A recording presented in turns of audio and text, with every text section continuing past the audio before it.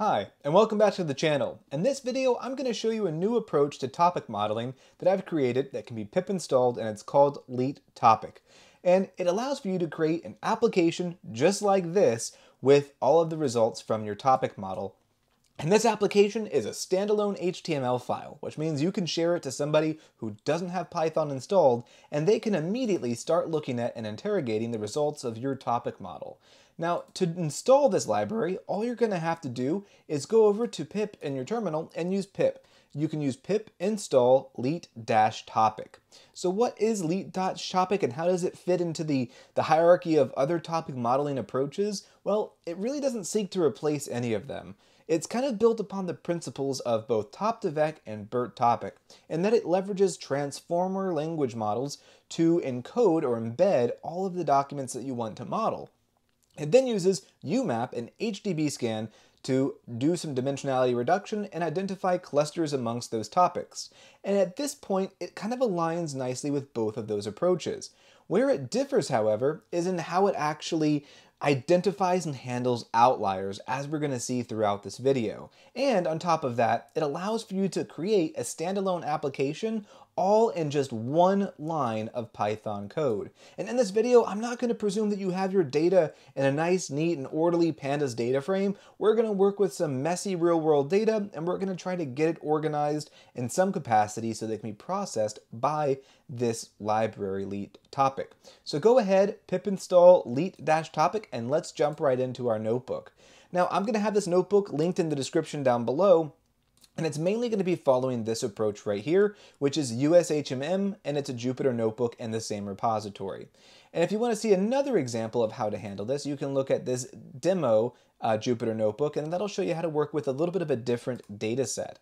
For right now, we're working with a collection of oral testimonies from the Holocaust Museum in DC, the United States Holocaust Memorial Museum, and we're going to be grabbing and isolating different question and answer segments from these oral testimonies, and we're going to be putting them into a pandas data frame, and then we're going to process them with Leet topic. So let's go ahead and jump right in. The first library that we need is JSON. All these are JSON files. If you don't really know a lot about JSON, I have a couple videos on this channel, but if you follow what I'm doing here, it's going to work well for you. Uh, we're also going to import glob so that we can work with multiple files in a single directory. Glob makes that a little easier. We're also going to be working with pandas, so we're going to import pandas as PD. If you install Leet topic, you're going to install pandas by default in your environment or on your system. And then finally, we're going to say from leet underscore topic, import leet underscore topic. And I'm going to zoom in just a little bit so you can see this a bit more clearly. And if this is your first time running uh, the import for Leet topic, it's going to be downloading the spaCy en_core_web_sm or the Small English Pipeline. Now, right now, Leet topic is a brand new library. It only supports English, and a new update probably coming next week it's going to have multilingual support because it's going to allow a user to pass in whichever Hugging Face transformer language model they want to, so you have a bit more flexibility in that regard. Uh, on top of that, it doesn't right now have a lot of other features such as an Annoy index, which will be coming later on to make these documents searchable, but again, this out of the box will create a nice application for you. Now that we've got all of our libraries imported correctly, let's go ahead and start working with our files, which are going to be found in USHMM, and these are all going to be JSON files. So we're going to use glob. We're going to say glob.glob, and we're going to grab every file in uh, this USHMM subdirectory that is a dot .json file. And when we do this, we can say length of files, and we'll see that we have 10 of them. Fantastic. Now we're going to iterate over those files. So for file and files. And I'm going to make a collection of documents outside of this loop. And so I'm going to say for file and files with open, and I'm going to open up each of these files, which is a JSON file. I'm going to read it, and I'm to set the encoding to UTF-8, and I'm to open it up as F. And now I can create an object called data, which is going to be equal to json.load, and I'm going to load in f, which is all that JSON data. Now let's just take a quick look at this to see what it looks like. As you can see, we've got a header, uh, it's a massive dictionary, and what we want to grab is specifically the key of segments. That's going to be where all of our question and answer pairs lie, and we're going to have a couple of these that don't align properly. I left a couple mistakes in here so we can kind of work with that. So we can say uh, for segment in data, we're going to grab that key of segments. Let's print off segment. And for right now, I am just going to grab only the first file. And we see that we got everything loaded up kind of nicely. If I were to go through, however, and print off all these, we would start to hit some kind of error. So what I want to do now is demonstrate this by saying documents.append, and I'm going to append two things here. I'm going to append a dictionary that has a key of text, which is going to be equal to, um, let's just say, uh, let's say segment question. And then I'm going to have another key, a file, which is going to be, there we go, which is going to correspond to the actual file name. This way, when I uh, process everything, I'll know what each segment corresponds to, which JSON file. And then I'm also going to do this for every single answer as well. And these are going to be the documents or the texts that we want to perform topic modeling on. Let's go ahead and do that. And everything works out well for file one, but let's go ahead and try to run it over everything, and we get an error. Now this error is telling me that there's a key error. These are messy JSON files. Now I know that this error is not going to be triggered every time, so I can introduce a try here, and I'm not really caring about missing a couple of these segments. I'm just going to say try except key error. So if there's a key error, just completely ignore it. And let's grab the length of our segments. And it helps if you actually have documents here. There we go, 1252. So we have 1,252 different set, uh, documents. And let's go ahead and take a look at these. We'll just grab the first two. Uh, as you can tell, that's exactly what we would expect. Uh, I need you to start off by telling me your name, place of birth, and date of birth. This is oftentimes how these oral testimonies will start out. And then we have the response followed by right here. So we got all of our data that we want to model. Now comes the fun time of following the uh, leet topic documentation. Now, if you look here, all we actually need to, uh, to create the Bokeh application that you can send to your friends or colleagues is one line of Python code, and it's also going to give us a lot of different data. So let's go ahead and work with the leet topic function from the leet topic library. So what we're going to say is new df, this is our new data frame that we're actually going to have, and it actually helps if you create a data frame first. So we're going to create a data frame called df using pandas. If you're not familiar with pandas, it's a way of working with tabular data inside of Python. And the leet topic library, as of right now, expects a pandas data frame. So let's go ahead and pass in our documents and take a look at our data frame. And it looks just like this. A series of 1,252 rows that have two columns that correspond to the text and the file number. So down here, we're creating our new DF, our new data frame, and we're also going to be creating our topic data. And that's going to be equal to leet underscore topic dot leet topic with a capital L and a capital T here. And this is going to take a couple different mandatory arguments. The first thing it needs to have is the actual data frame that we want to pass to the pipeline that's going to process everything. And then we also have to specify the actual document field. Now the document field here is going to be the, the header title, the row, or sorry, the column that actually has the documents that you want to model. And so in our case, we want to model the document field that's equal to, I think I called it text, yep, text. Now the next thing that we have to pass in is our HTML file name. The HTML file name is going to be the name of your Bokeh applications, so something like demo.html. I'm going to call this ushm2.html. And then the final thing that we need to pass in, and this is optional, is max distance. Now, one of the things that makes Leet Topic different from Top2Vec is that Top2Vec will handle outliers by taking them and assigning them to the nearest vector, topic vector, uh, so essentially anything that's negative one gets allocated to another topic. This is really useful because it means you don't actually have any outliers. Everything's assigned to a topic neatly, unlike BERT topic, which has a lot of outliers.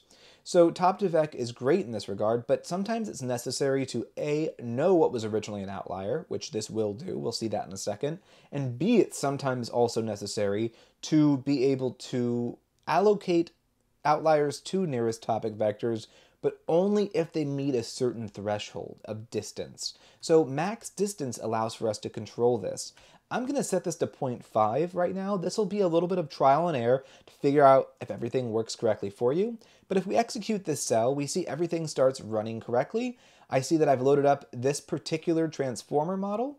I see that I'm running everything on my CPU. I'm doing this demo on a CPU, not a GPU, so that you can see this will work on most laptops. Um, uh, we're able to see that we're encoding all the documents. It did 40 batches for all 1,252 documents. And now it's taking all these documents and flattening these higher dimensional representations, which are large numbers. I think uh, for this particular transformer model, it's 384 dimensions. It's reducing them down to two dimensions and then it's running HDBSCAN to find clusters, and it's already done. I can't even go through and describe everything. But let's go back real quick for just a second and explain what the last of this information explains. This next stage tells us that it's recalculating the topics, just like top2vec, but assigning a max distance of 0.5, and we're seeing that it's reallocated 272 outliers down to just two. So we still have two outliers, but that's fine. We don't want outliers that are uh, far away from our vectors being allocated to vectors.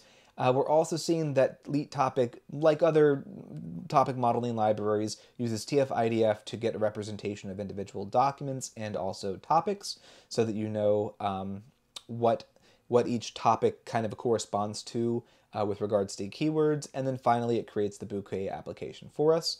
So this is the new one that was just created. Let's zoom in and see what we can do with it. Well, out of the box, what we have here are all the different documents plotted on a Bokeh graph in the top left of the app. We can interact with this. We can highlight it and we see it populate in a couple different places. Down here under selection, we have all the different topics that we just happened to grab. So all of our documents fall under these categories. And then over here, we can also interact with the data on this graph and highlight that and it'll populate the data down here so they can be a, a, bit more legible. Now, all these are apparently are quite short. Let's grab something that's a little bit larger in text. There we go. So this document is kind of hard to read. By selecting it in the data frame, we're able to expand it and analyze it a bit more. We can copy it, we can save it elsewhere, we can start to work with that data a bit more closely. And with both of these charts, what we're also able to do is zoom in and analyze and select things a bit more specifically. So you can work with your data in a couple different ways with a couple different graphs. Over here, you kind of select what you want to analyze, and over here on the right, you can analyze this data more closely and select things. You can either select nodes in the graph, or you can select nodes in the chart to populate them down here in the bottom part of the text display window. But that's really the application. You can go through and play around with this on your own, and I think it should be kind of self-explanatory. One of the things that you can do is you can go through and also select individual areas or individual topics by selecting number 4, for example, or 28, for example. And we're able to see them populate both on the right side and in the data frame, so you can analyze everything by individual topic as well. The two things that are two pieces of data that are outputted are first a new data frame, and we can take a look at that.